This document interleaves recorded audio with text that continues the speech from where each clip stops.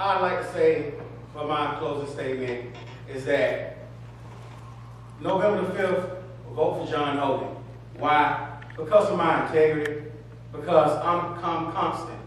No matter what the situation is, I'm gonna stick to the facts. And I'm gonna bring the voice of the people from my district to City Hall. I, as, as, as far as a lot of people know, I do own a cab company here, a five-star taxi of Valdosta and of Lake Park. I started when I was 24 years old. Um, I'm also a certified dialysis technician as well as my wife. She's a certified dialysis nurse. Um, so we know, uh, as far as on the health risk, what affects our community as well. Um, also, I served on chairman board for sickle cell diabetes for my uh, Sickle Temple for one year. And just looking at the situation, you know, I'm in this, I'm in the community every day.